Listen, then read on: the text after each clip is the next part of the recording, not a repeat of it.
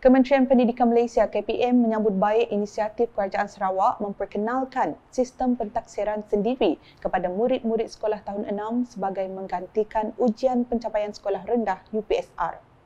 Menteri Pendidikan, Inovasi dan Pembangunan Bakat Sarawak Datuk Seri Roland Sagawiin berkata, beliau amat mengalu-alukan maklum balas positif daripada Menteri Pendidikan Fadlina Sidik berhubung sokongan positifnya terhadap inisiatif tersebut.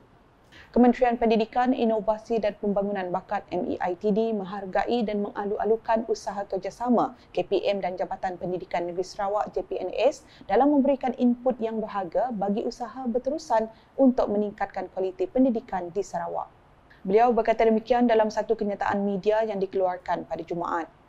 Datuk Seri Roland Sagah menambah penilaian sedemikian adalah penting memandangkan program dui bahasa DLP iaitu pengajaran matematik dan sains di dalam bahasa Inggeris telah dilaksana di Sarawak.